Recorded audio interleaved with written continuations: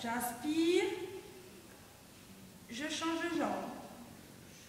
L'autre jambe reste en position chaise renversée. On reste. Encore, on inspire, on souffle.